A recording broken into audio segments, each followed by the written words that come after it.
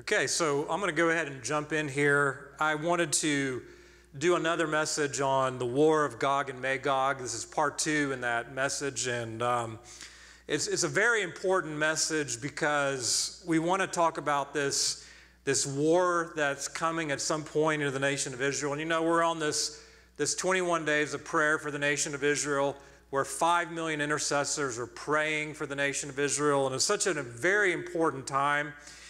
And so, anyway, I wanted to do this message in preparation for next, for this coming Sunday, which is the last day of the 21 days, which is uh, Pentecost Sunday, and our time of prayer for Israel ends in, and also uh, the, the, all that we've been talking about is related to Pentecost.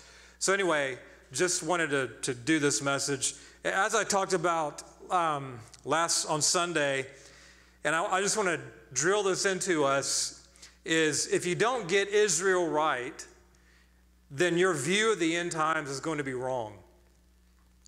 If you don't understand Israel, then you're going to misunderstand the end times. And if you don't properly interpret Israel, you will misinterpret how God's end times plans are going to unfold. And so I think prophecy scholars are right when they said that Israel is God's prophetic clock that lets us know the hour of history and how soon the Lord is to return. And that they've rightly said, I believe, that Jerusalem is the hand clock and the Temple Mount is the minute clock. And so, anyway, that, that's what, so just again want to emphasize the importance of the nation of Israel. It's so important that we understand Israel, Israel's end time destiny that, that God has said uh, clearly in His Word. And so, in last last message in part one, we looked at the who, the what, and the why of Ezekiel chapter 38 through 39. And so, after that message, I concluded that, and again, not dogmatically, but I concluded that to me it seems like this is there's coming an Islamic Russian led invasion into the nation of Israel in the not too distant future. And so um, and like we talked about on Sunday, is Russia's motive for attacking is economic, while the Islamic nations, of course, are fueled by Islam. And so that's what we looked at in part one. And again, I just want to reiterate as we get into Ezekiel, into part two of this message, the importance of not being dogmatic about uh, end time prophecy. I, I want to really understand the truth. I don't want to be glued to a particular view. I want to come to Scripture and ask the Lord to speak. Okay, Lord, what are you speaking from Scripture? What are you saying in Scripture? I don't want my view to be held up as the view. God's view is the only view. And so, one of the worst things that we can do in this day and age, I believe, is to be dogmatic, to think, no, my view is the right view. God's view is the right view. And it's important to us to get God's view by coming to the text, by coming to the scriptures, and just waiting on the Lord and prayerfully understanding and, and saying, Lord, show me what this is about. So, Ezekiel 38 and 39 is a very complicated prophecy very smart, intelligent scholars who love Jesus, who want to rightly interpret the Word of God, have different opinions on who the nations are that are going to attack Israel, uh, the timing, which is going to be the subject of this message. Um, of the timing of this invasion. And so I think, again, I say this all the time when I teach about the end times. It's far more important that we are ready than we are right. It's far more important that we are ready than us being right. So we can have all of our eschatology perfectly laid out and have it be spot on according to Scripture. But if we are not ready as the bride of Christ, if we're not ready for the Lord, if we're not ready for the times we're heading into, then it doesn't really matter that much. We get all the perfect eschatology nailed down. We want, I mean, uh, in theory, we want to have both. We want to have the proper interpretation of the end times and be ready. But it is more important to be ready than to be right. And so, my goal in these four messages that I'm doing uh, is, is uh, Joel chapter 2, 15 through 32, Ezekiel 38 and 39. There's going to be four messages in total. My goal in, this, in these four messages is to raise your attention to say, watch for these things that could happen. I'm not saying dogmatically, these are going to happen. I'm saying, oh, I mean, these are going to happen soon. I, I believe it is. But I want to at least uh, get your attention and say, watch for, watch for this. There is coming a Russian led Islamic invasion into Israel in the not too distant future. Watch for it.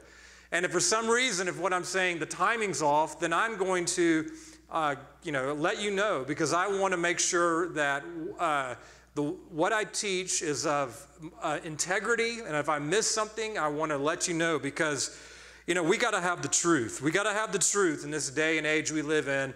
And if I say that anything off in the timing, I want to acknowledge that and just say, hey, I was off on this. But uh, anyway, just want to lay that groundwork. So now we're in Ezekiel, we're going back to Ezekiel 38 and 39, and we're asking when. When is this prophecy going to take place? And in my opinion, this question of when is definitely the most important as it relates to Israel, or as it relates to Ezekiel 38 and 39, is when will this happen is of utmost importance in Ezekiel 38 and 39. But I would also argue, as it relates to end time prophecy, answering this question of when this, this takes place in Ezekiel 38 and 39 is one of the most critical questions we, ha- we need to answer as it relates to end time prophecy as a whole. Because as I'm going to show, I'll explain this in a minute, but as I'm going to show you, if this, if this event is going to be fulfilled before the tribulation, as I'm going to argue, as opposed to at the end when know, the Battle of Armageddon, as others argue, then your, my, the, the different views you walk away with from the end times are going to be drastically, drastically different. And so we want to very, that's why I'm going to go through this very carefully, very slowly. Um, so that we can understand that uh, we can understand the importance of this. And I just keep saying the importance, I'm stressing the importance of it so that you will see, okay, I need to study this. I believe Ezekiel 38 and 39, the answering the when question is again one of the most important questions that needs to be answered in the time we live in. And so I just want to challenge you to, to be a student of the Word of God, to go deep into the Word of God, and to dig into it yourself and just ask the Lord, okay, Lord, teach me this. I, I encourage you to also get the notes that are in the link in the description on YouTube and, and read through those notes prayerfully, asking the Lord to show you the truth. So, for example, if, if you believe, like, so what, what I'm going to do in this message, I'm going to show you why I believe this event's going to be fulfilled before the tribulation. And so I just want to give you an example. If what I'm saying is true, here's what I'm saying this, this, is, this is true. Is if what I'm saying true, if you don't believe Gog is the Antichrist, and you don't and you believe this prophecy is going to be fulfilled before the seven-year tribulation period, then what, you, then what this prophecy is teaching is that there is coming a, an invasion into Israel soon, and that after that, a massive worldwide, unprecedented revival is going to break out both in Israel and in the nations, causing millions and millions and millions of people to come to faith in Jesus Christ, including in the nation of Israel, and I believe also in the Muslim world. And that this is going to be, the, I believe, the greatest outpouring of the Holy Spirit in history. On the other hand, if you were to if you interpret this prophecy being fulfilled at the Battle of Armageddon, for example, um, there's, there's five different views I'm going to walk through, but if you believe it's the Battle of Armageddon, for example, then that gives an entirely different view of how you think end time prophecy is going to be fulfilled. So if you think it's the Battle of Armageddon, then you're going to think Gog is the Antichrist. You're going to think, okay, where it talks about in Ezekiel that God says, I will not hide my face from the house of Israel, that will not be fulfilled until after two thirds of the Jewish nation are killed uh, by the Antichrist. In other words, basically, God continues this state of hardness to the nation of Israel all the way through until the second coming. And so, at the very last hour when Jesus returns, then, then the remaining Jews who survived get saved.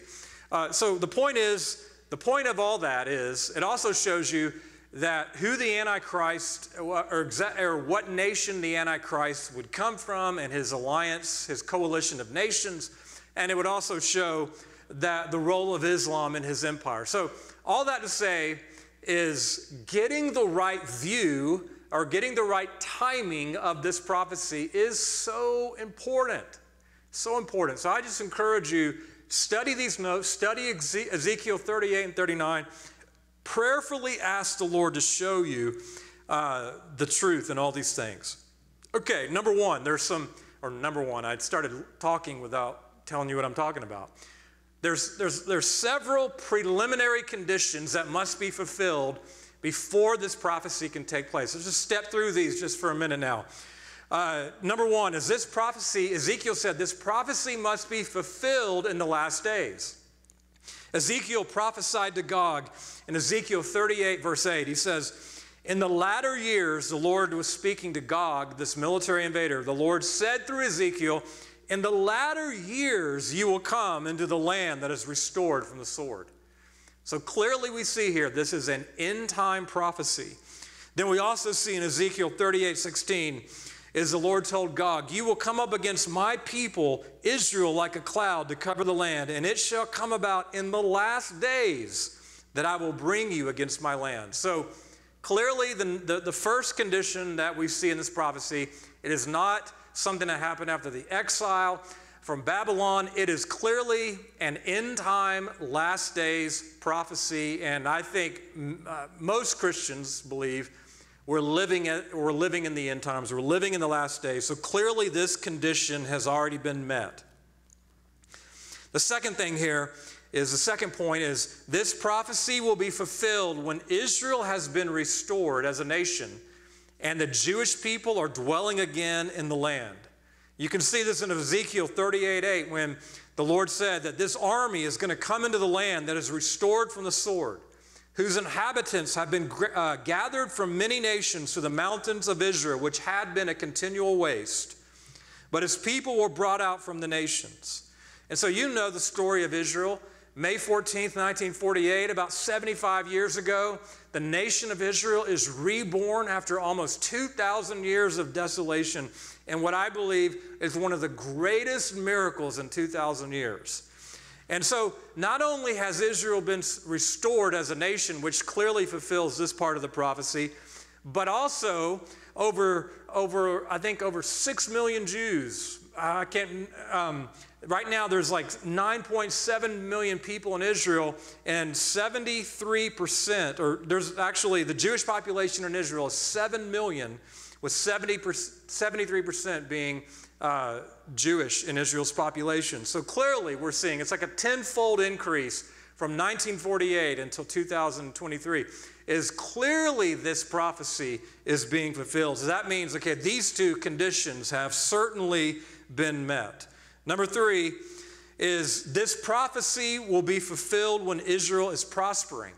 We looked at that on Sunday in the last message where Gog is coming into the land of Israel because he has this, this motive in his heart. It's this desire for money. There's this desire for prosperity and greed. The prosperity of Israel allures Gog to come from the land of Magog, which I showed you last Sunday, I believe very well is Russia.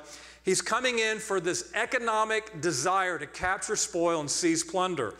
And so, what that means then is if he's coming into the land of Israel to capture spoil and seize plunder, that Israel must be uh, experiencing a measure of prosperity. And that is indeed the case in, uh, in 2023.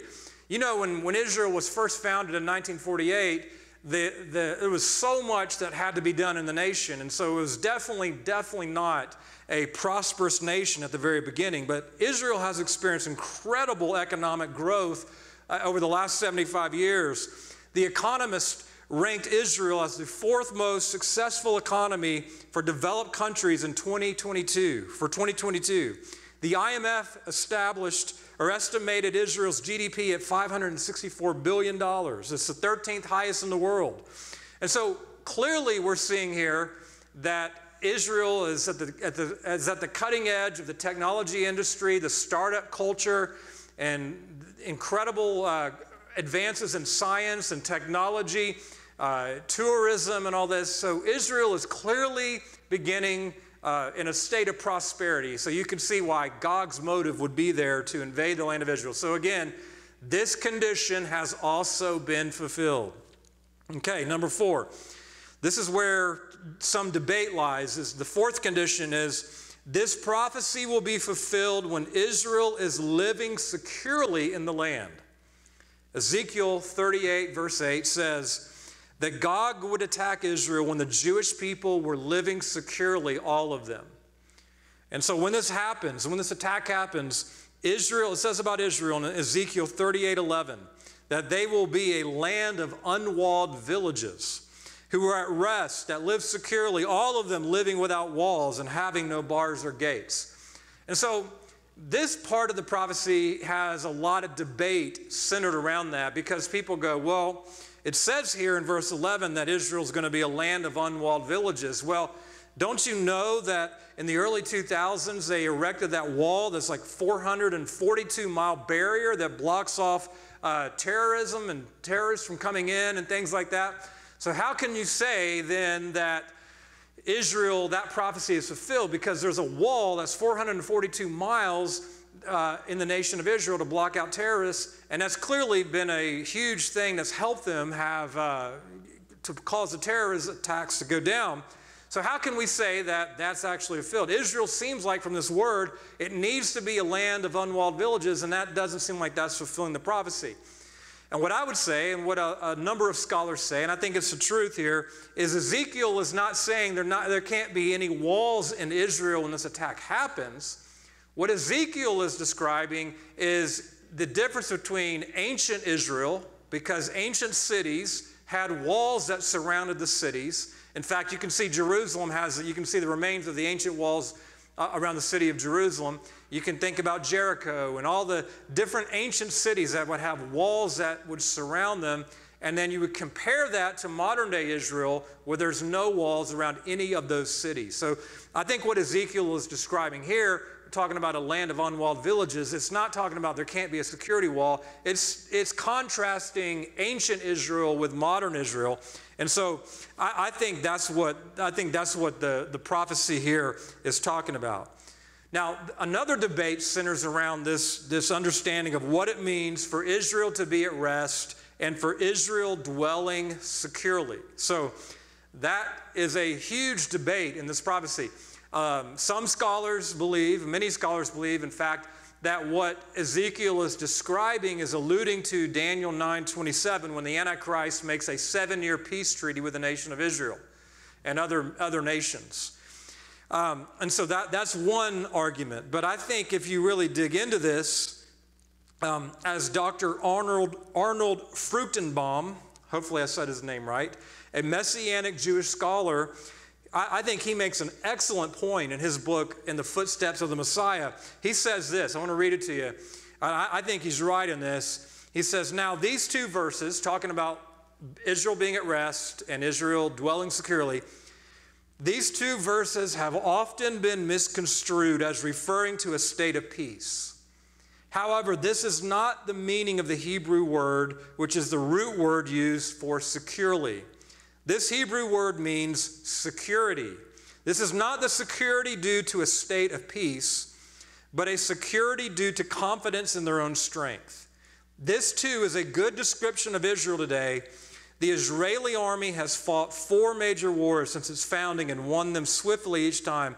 Today, Israel is secure, confident that her army can repel any invasion from the Arab states. Hence, Israel is dwelling securely. Joel Rosenberg, who's written several best selling fiction books about the Middle East and Israel and, and end time prophecy, he also agrees with this view and says that Israel dwelling securely doesn't necessarily mean a comprehensive peace plan. He goes on to say in his book, Epicenter, note that the Hebrew prophet does not go so far as to say there will be a comprehensive peace treaty between Israel and all of our neighbors, or that all or even most hostilities in the Middle East will have ceased. Which is it? Some have been tempted to ask is it war or peace? You can't have both. And, and, Rosenberg says, maybe you can. I would argue that we are seeing such a conundrum developing in the Middle East at this very hour.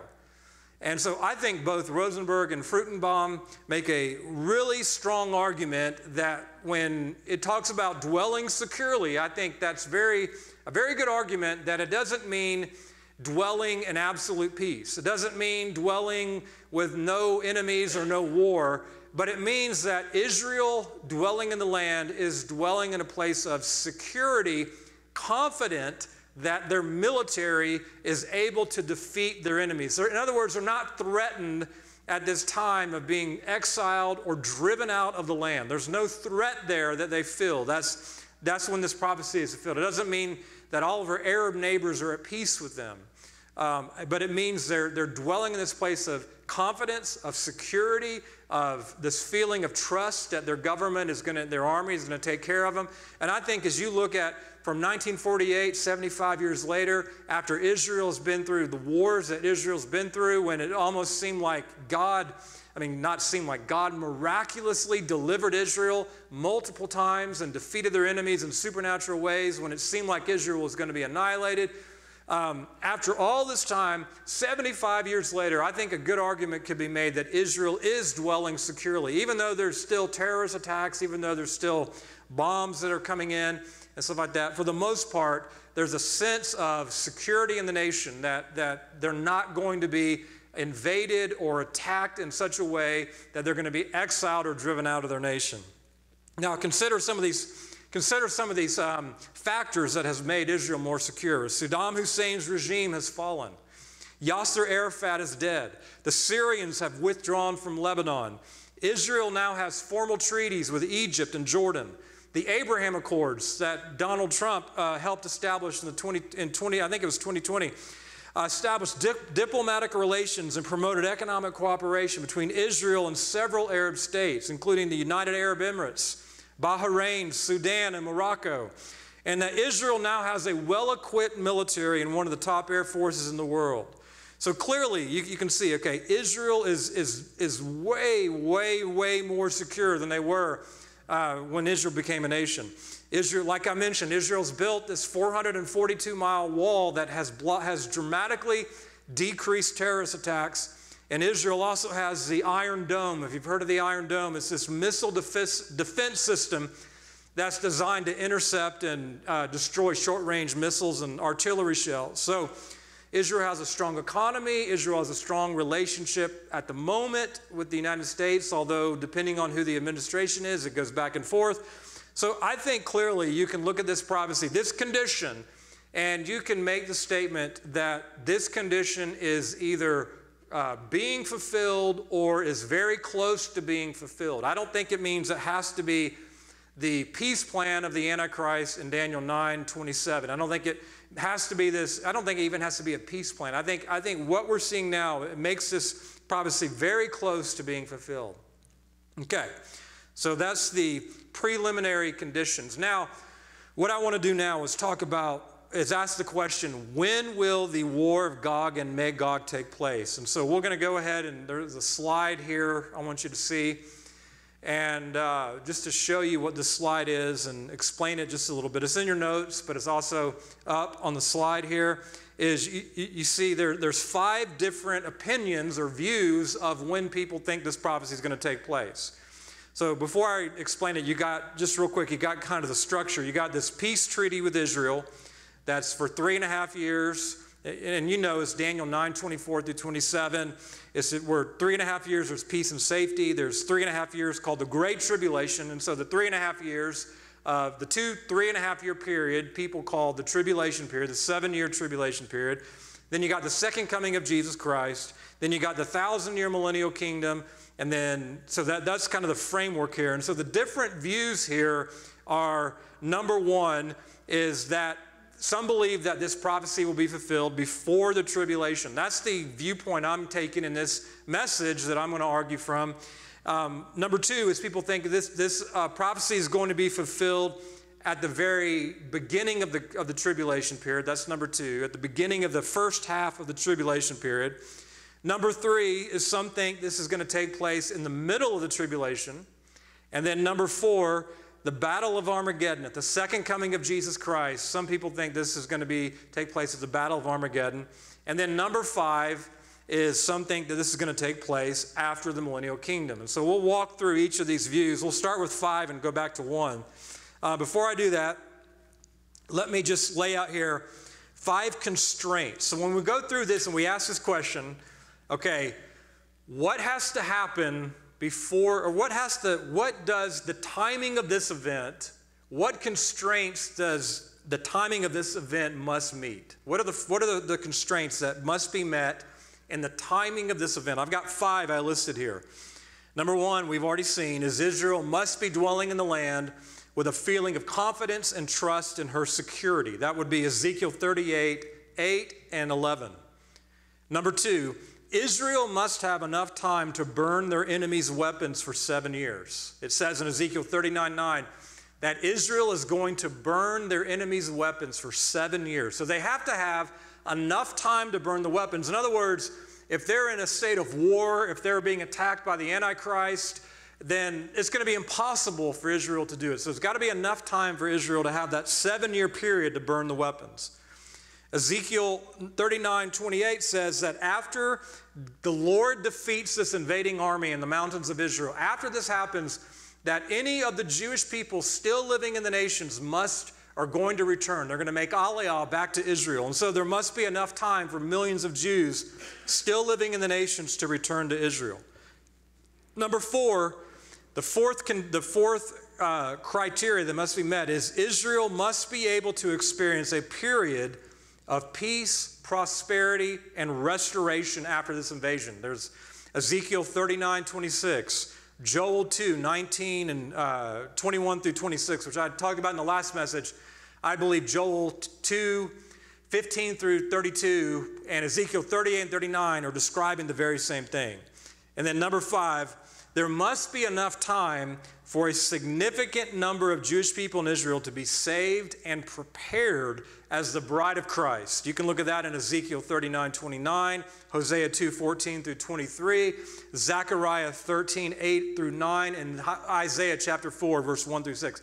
In fact, I would encourage you to read those scriptures. Read, read those scriptures. Right now, we are in the season where God has opened up the prophetic, the Old Testament prophets. Read Ezekiel 36, 37, 38, 39. Read um, some, of these some of these passages like uh, Isaiah chapter 4, Hosea chapter 2, Zechariah chapter 13.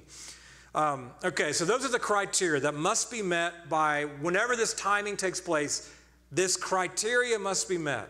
So we'll look at the first view here. Number five, the fifth view, the, we're going to work backwards.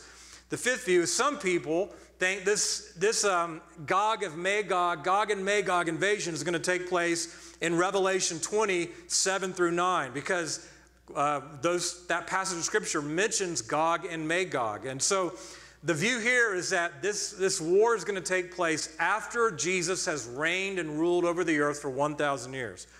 But if you really examine Ezekiel 38 through 39, that view is impossible. And I'll explain why. Because after Jesus has reigned from Jerusalem for a thousand years, all Israel would have been saved. The Jewish people, every single Jew on the earth would have moved back to Israel. Israel would have experienced a time of unprecedented peace, and the Spirit would have already been poured out. So, these four things that Ezekiel says will happen after the, after the battle of Gog and Magog has already happened for a thousand years prior to this.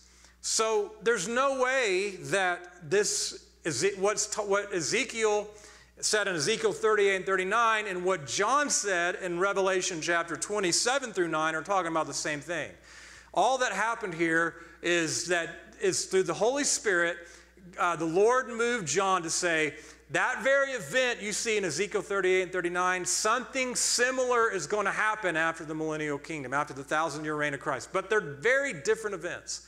It's just prophetic uh, uh, symbolism there to represent an invading army after the millennial kingdom. So they're definitely, I don't see how you can say they're the same thing, or you could, you could say that, that Ezekiel 38 and 39 is fulfilled after the millennial kingdom. It just doesn't make any sense. Uh, the fourth view that we'll look at here, number four, is the Battle of Armageddon view. Now, I, I, this one to me has a lot of merit to it, and, and it's in fact a view, and I mentioned last on Sunday that for about 15 years I held, I, I held to the view that I now hold before the tribulation But for about a year or so, I embraced the Battle of Armageddon view, thinking that this, this event with Ezekiel 38 and 39 would be fulfilled when Jesus returns at the Battle of Armageddon.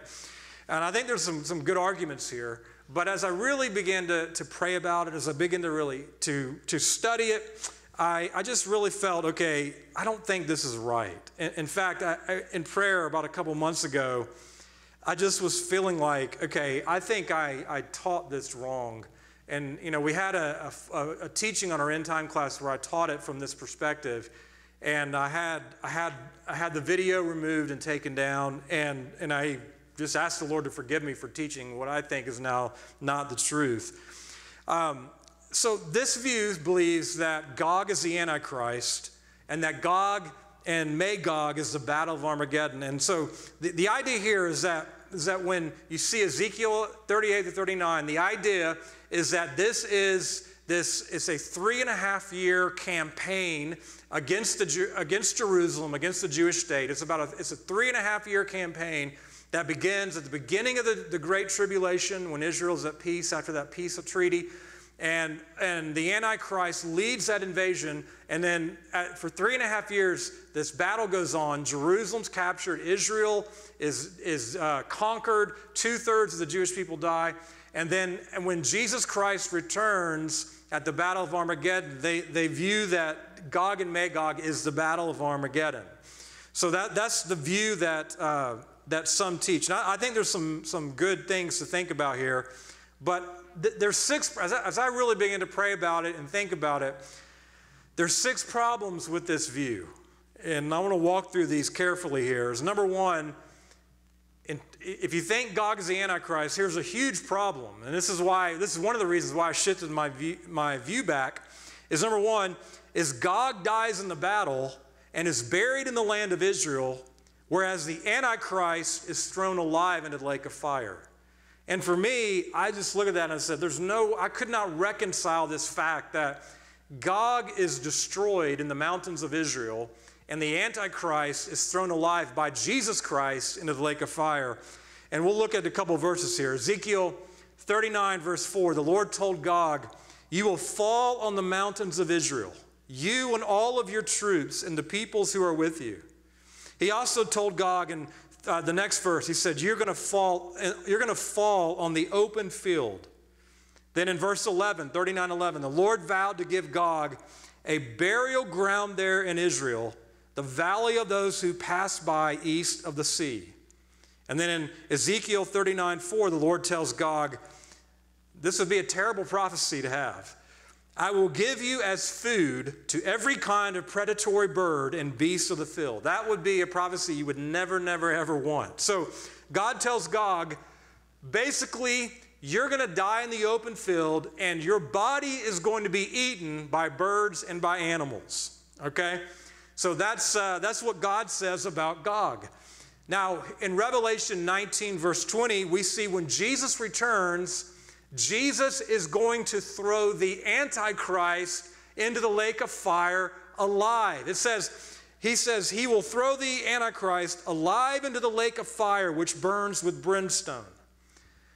And so, to me, I just could not reconcile that. I was like, how can I, how can I possibly say these are the, like, the Antichrist is Gog, and Gog is the Antichrist when Gog is clearly dies in this battle in Israel. He's clearly buried in Israel.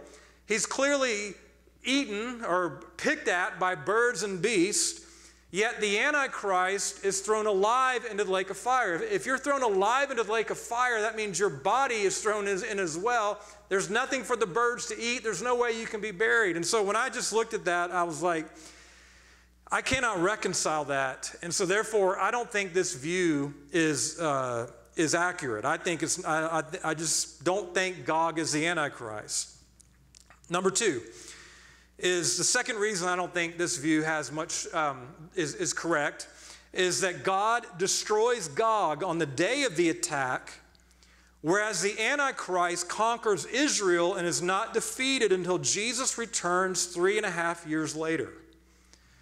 Listen to this. The Lord spoke through Ezekiel in Ezekiel 38, 18 through 19. The Lord said to Ezekiel, It will come about on that day when Gog comes against the land of Israel, declares the Lord God, that my fury will mount up in my anger, in my zeal and in my blazing wrath. Listen, I declare that on that day there will surely be a great earthquake in the land of Israel. So you have this idea where the Lord says, it will come about on that day. On what day? On the day Gog attacks Israel. You see that? It's, it's this God comes to Israel's rescue on the day Gog attacks Israel. There's not a three and a half year delay. There's not a series of campaigns waged war against uh, the city of Jerusalem. The Lord says very clearly, it's on that day, on that very day when Gog comes against the land of Israel, then my wrath will be poured out. I think the New King James Version says it even more clear, as it says, It will come to pass at the same time when Gog comes against the land of Israel, says the Lord God, that my fury will show in my face. In other words, the Lord's saying here is that on the very day of the attack, God then rises up in judgment. And so, I just just just trying to look at this. This is this is another one of my main reasons for shifting my view back to the one I hold now. Is I just don't see a multi-year campaign against Jerusalem. I don't see any signs of Gog's army having success. Uh, like you see in the Antichrist for three and a half years, Zechariah chapter 14, 1 through 2. What I see when I read this is I see the Lord destroying this army suddenly on the very day that Gog attacks Israel. Hitch, Mark Hitchcock, a prophecy scholar that's well known, says that this battle is a one hour war. You know, whether it's a one hour war or a one day war, I, to me, the scriptures are pretty clear that on the very day Gog attacks, the Lord rises up in defense of the nation of Israel.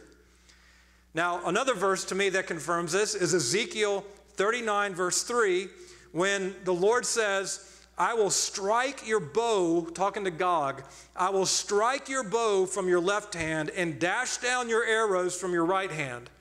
The idea to me from this scripture is that as Gog is attacking Israel, at that very moment, without having success, God defeats them as they are attacking Israel.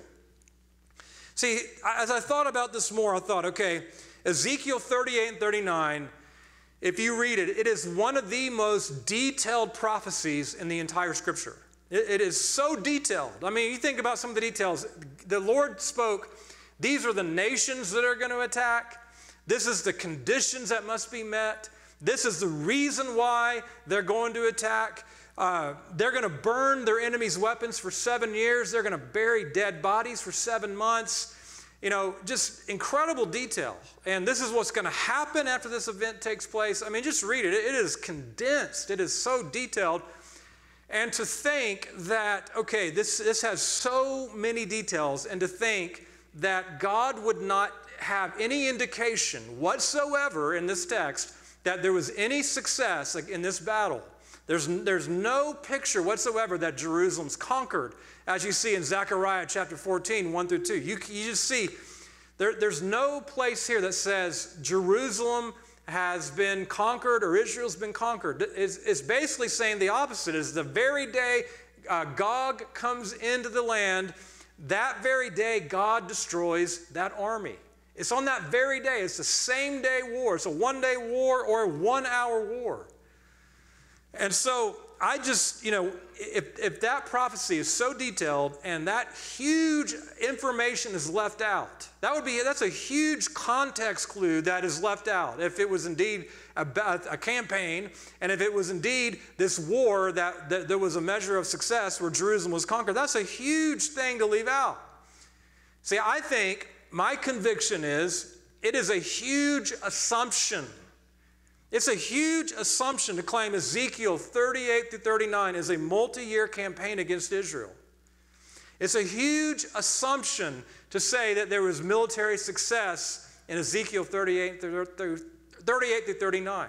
It's a huge assumption to say that Ezekiel 38 to 39 is retelling Zechariah chapter 14. I think that's a huge assumption. The text clearly does not say it. And so, therefore, I just was like, I don't think that's what it's saying. I don't think what it's saying. I don't think it's saying that this is a, a multi year campaign against the nation of Israel.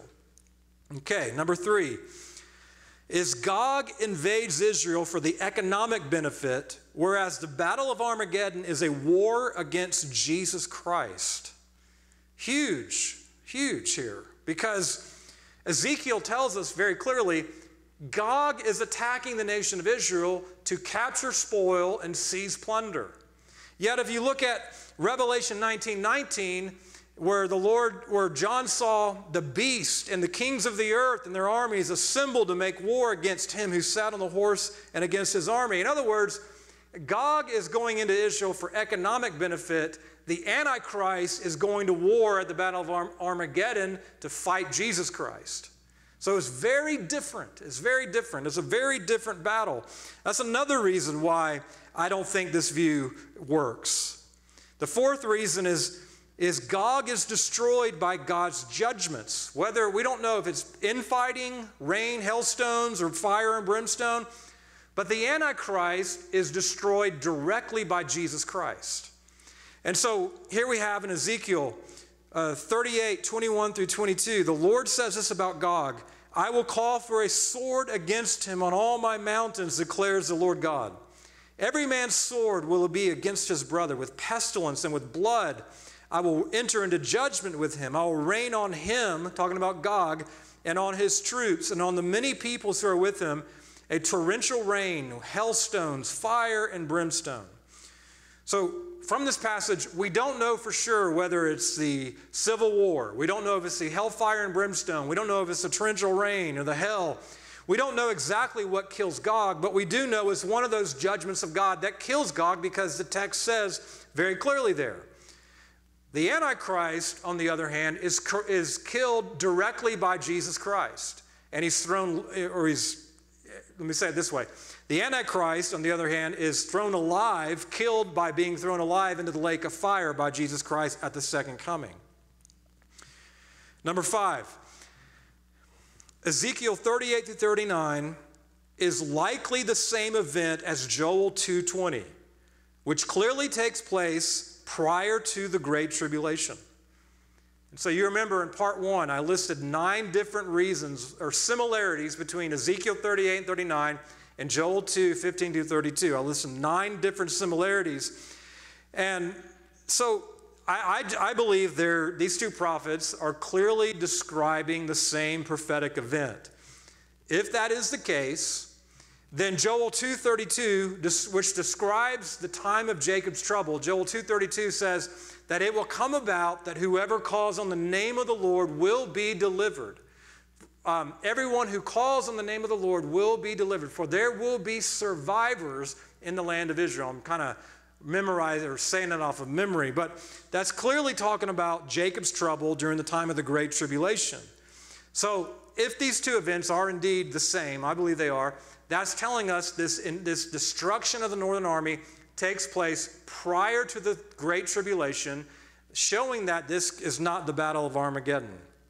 And then, number six, this one to me really, just thinking about this, just really touched my heart, really, is if Ezekiel 38 and 39 takes place at the Battle of Armageddon, this would mean God would not remove Israel's hardness and blindness until after the Antichrist has killed two thirds of the Jewish people. And here's why I'm saying that. Ezekiel 39 29, the Lord says, after this army is defeated, the Lord says, I will not hide my face from them any longer, for I will have poured out my spirit on the house of Israel. Now, when God says that, what it means when he says, I will not hide my face from the house of Israel any longer, what that means is the same thing Paul said in Romans chapter 11. When Paul said that, uh, that Israel has been blinded, a spirit of stupor has been given to the nation of Israel. They have eyes, but they can't see. They have ears, but they can't hear. Where Paul said that a temporary blindness has come to the nation of Israel, temporary hardness has come to the nation of Israel.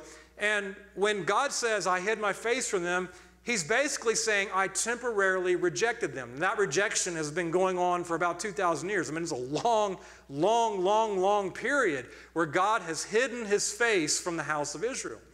Yet Paul says clearly in Romans 11:15, there's coming a day of Israel's acceptance.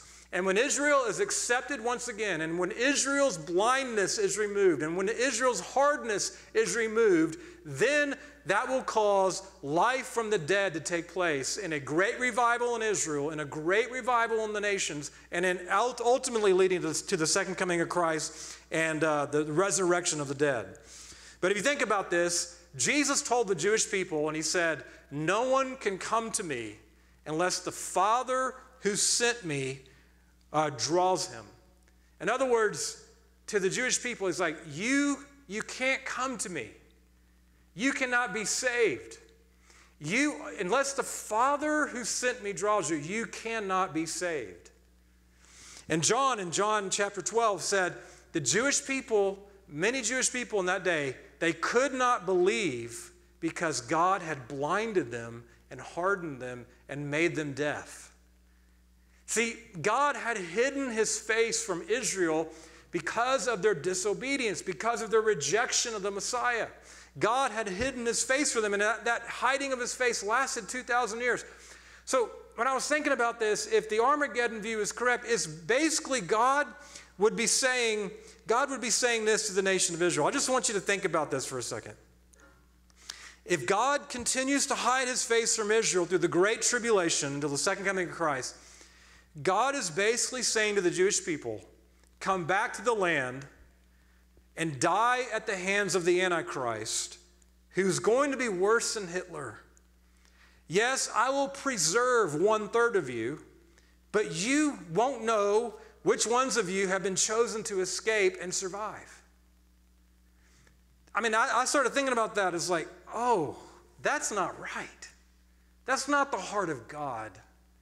That's not the heart of God. Especially, can you, I mean, can you really imagine a loving God who loves Israel the way the scriptures say God loves Israel with an everlasting love doing this, especially after six million Jews perished in the Holocaust? Basically, the Lord would be saying, okay, you just came out of the Holocaust. Now I'm going to bring you into the land, and you're going to have another Holocaust that's going to be even worse with no opportunity for salvation because I've hardened you and I've blinded you and I've hidden my face from you. I don't think the Lord says that at all. I think the Lord says through Ezekiel, come back to the land. The Lord says, come back to the land and be saved. He doesn't say, come back to the land and die. He says, come back to the land and be saved. And I'm thinking of Ezekiel 36, verses 24 through 25, when Ezekiel said, I will take you from the nations, I will gather you from all the lands and bring you into your own land. Then, you got to hear that, then I will sprinkle clean water on you and you will be clean.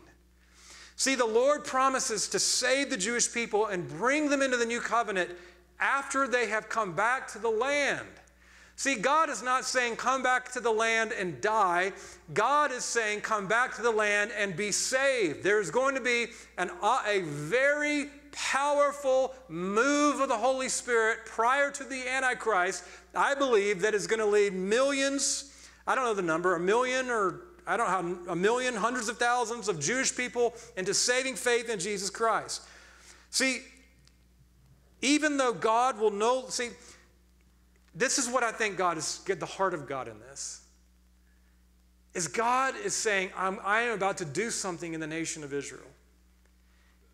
As you celebrate, as Israel celebrates their 75th anniversary, God is about to do something in this nation.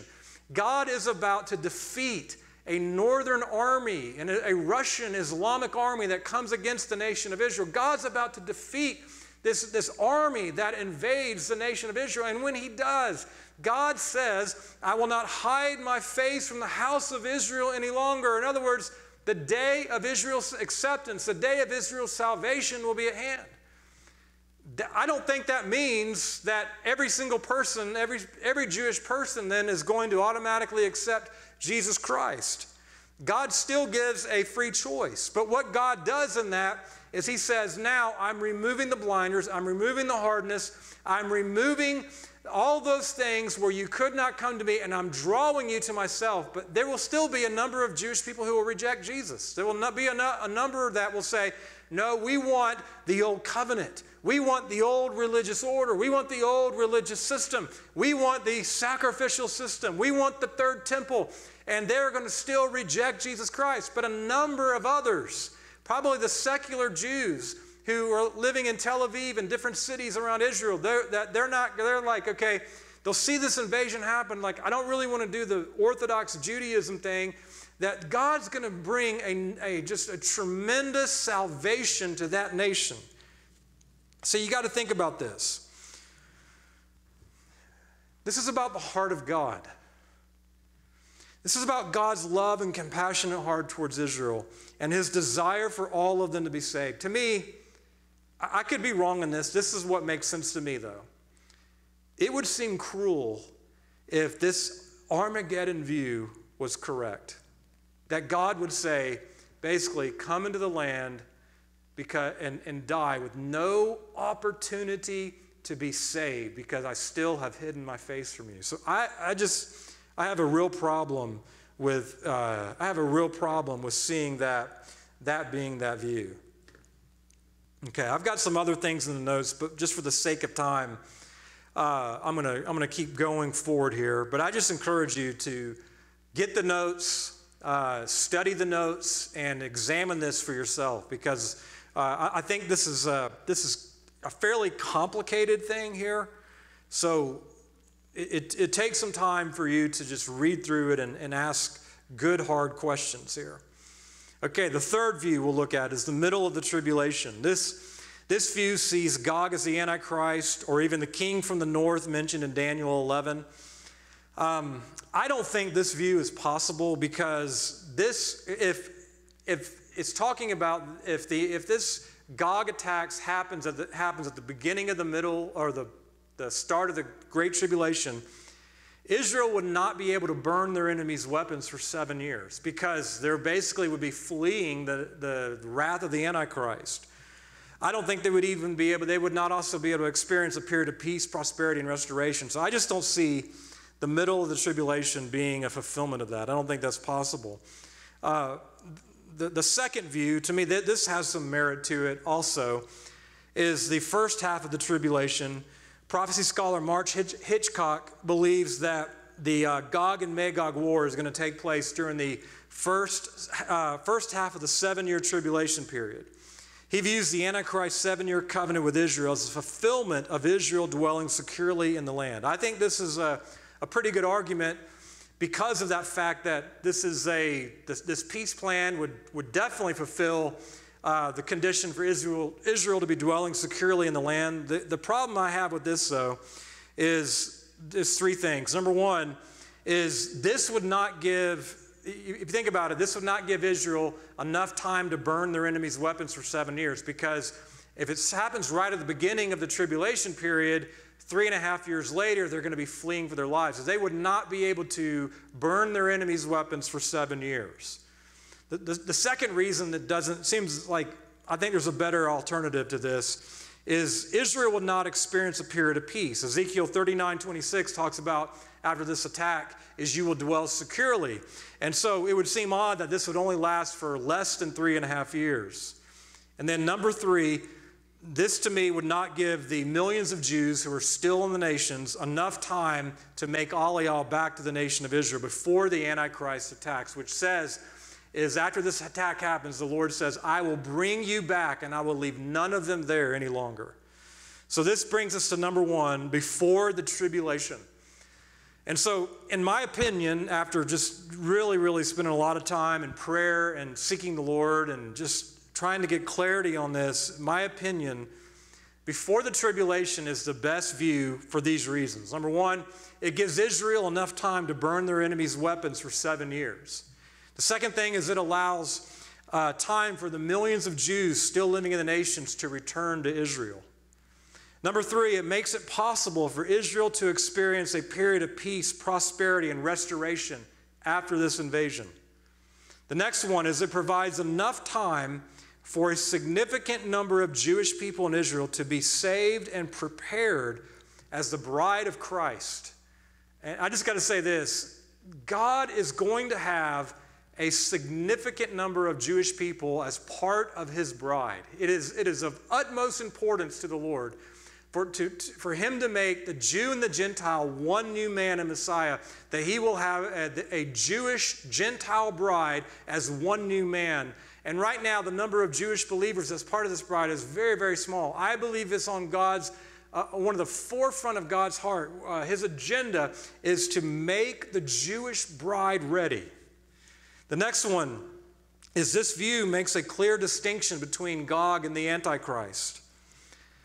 And then two more. The next one is this aligns with God's everlasting love and compassion towards Israel and his desire for all of them to be saved prior to the coming of the Antichrist. I don't believe all of them will be saved because many of them will reject Jesus again. But as God is, is giving them the opportunity, and I, I believe tens of thousands, hundreds of thousands of the Jewish people will repent and come to Messiah, Jesus Christ. And, uh, but it's the heart of God here that I believe this view is just saying God's heart is for the, the people of Israel to be saved.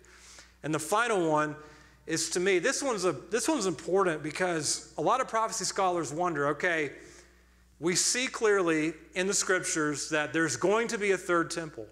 The Antichrist is going to go into the temple and he's going to claim that he is God. We also see the Great Tribulation is going to be kicked off by the abomination that causes desolation, which is when the Antichrist goes into the temple and says, I am God, worship me, and puts his idol, like we see in Revelation 13, in the temple and proclaims himself to be God. So, for those things to take place, even Revelation 11 talks about the, the temple of Israel, for those things to be fulfilled, it, guess what? There's not a temple right now in Israel. There's not a temple. There's a Temple Mount with a Dome of the Rock and the Al Aqsa Mosque, but those are those are from the uh, Islam. They're not. They're not. Um, there's not a third temple, and so prophecy is very, very clear. There's going to be a third temple. And to me, when I think about um, this war of Gog of Magog, this really makes a lot of sense that it happens before the seven year tribulation period because building a third temple, I'm, I'm, i mean, I'm not an architect, but I would imagine it would take a lot of time to really sit, you know, to really get the blueprints right and the building plans right and to build this thing right. I think it's going to take a significant, I don't know how many years, but I don't think you can just throw up, pop up a third temple. I think it's going to take some time to build. It's going to take some time to get the Levitical sacrifices going. And I know that. Um, there, there's there's uh, definitely a movement going on in Israel and the Temple Mount Institute and things like that. But my point is, is that this is going to take time. And then the other point is, is how in the world will it ever happen right now? Because that the Temple Mount complex, that 37 acre platform there in the heart of Jerusalem is one of the most hotly contested areas in the, in the entire world. How in the world would that even be possible for the Jewish people to build a third temple there? It, it just it wouldn't be a, possible except for what this Gog of Magog war is saying that it's when Russia, it's when the Islamic nations come and God shows himself who the true God is. It's not communism, it's not atheism, it is not Islam. It, the, the, the true God is the God of Israel through Jesus Christ. And he shows himself and says to the nations and to Israel, I am the Most High God. And when this happens, I believe Islam will suffer a great humiliation. And through this, I believe what will happen is God will allow, or God, through that, somehow, some way, I'll talk about it more on Sunday, but somehow, some way, that this event is going to allow the third temple to be built. So, saying all of that, that's why I believe the Gog and Magog war will take place prior to the seven year tribulation period. So let me just close with this. I'm just going to give you this is a theory, this is not a prophecy, this is not a prediction. This is just, okay, if I think about this, how could this take place? Here's my theory of how this, this might work. I believe one of the main restraints against, uh, Israel, or against uh, Russia and Turkey and Iran trying to attack Israel before now is the strength of the United States. Because they knew if, if, if we go against Israel like this, the United States would stand with Israel in a heartbeat. But now that we see the U.S., and we're not there yet, but we're definitely beginning to be weakened, morally weakened, in, weakened in our government, weakened in our military, weakened economically. The US dollar is, you know, many are predicting that it's no longer going to be the world's reserve currency any longer. And it's no longer going to be the petrodollar that, that gives us this strong economy. So, you know, and also you think about America, it looks like every day we're getting closer and closer to some type of a war with China. So, all these factors in, it's clear that America is being weakened right now and I think that's given, this will give, as America continues to be weakened, and I believe we're being divinely weakened, I believe it's the will of God because of all that we have done for Him to weaken us. I believe America still has a destiny ahead, that God has a heart for America. I won't get into that. But America right now is being weakened. And so when America is being weakened, this Russia Islamic alliance, I believe, will look at that and say, there's an opportunity here because America's being weakened right now. So, you know, just imagine the next three to five years as America becomes more and more weakened, that, that Russia and this Islamic alliance will be like, okay, America is not going to be able to defend Israel right now because they're in war, because their economy is, being, is in uh, shambles. Therefore, we have an opportunity. And so I could see something like this where this alliance tells the terrorist organizations that attack Israel, okay, stop doing it. We're, we're, there's a secret invasion that's going to take place. Stop the terrorist attacks. And so when that when those that terrorist attacks completely cease, then you could be in that fulfillment where Israel is dwelling security. So, anyway, that's how I see that possibly taking place over the next five to 10 years. My point is this, here we'll end with this. My point is this is whether what I've said is true or not, time will tell. God's view is the only view, not my view, not anyone else's view. God's view is the only view. If I have interpreted that correctly and that's right, we'll see. Time will tell. But my point is what I want to say to you is begin to watch for this potential. Because if what I'm saying is true and the timing of it is true before the tribulation period, before the seven year tribulation period, what that means, which I will talk about on Sunday, what that means is we are about to witness the greatest outpouring of the Holy Spirit in history. We are about to witness an outpouring of the Holy Spirit like we've never seen. We are about to see the prophetic ministry go to a level we've never seen uh, in, in a, I'm not saying ever because we have incredible examples of prophets in, in Scripture, but I'm saying in a long, long time, God says, I will pour out my spirit upon all flesh. Your sons and your daughters will prophesy. Your young men will have visions. Your old men will see dreams. And God, God has no favoritism. He says, On the female servants, on the male servants, on everyone, I am going to pour out my spirit. And God says that He would do it after this, which is after the destruction of this Islamic army, this northern army that attacks Israel. So I just want to say, watch for this. Wake up and watch for this. Watch for this fulfillment of Ezekiel 38 through 39, I am pretty convinced I am going to see this with my own eyes. I'm 51, so I, I, I believe it's going to happen in my lifetime that this event is going to take place. And when it does, it's going to change the Middle East, it's going to change the world, it's going to change the nations. As God shows himself strong to all the nations and he sanctifies himself and magnifies himself and glorifies himself in the sight of many nations through his chosen servant, Israel. Amen.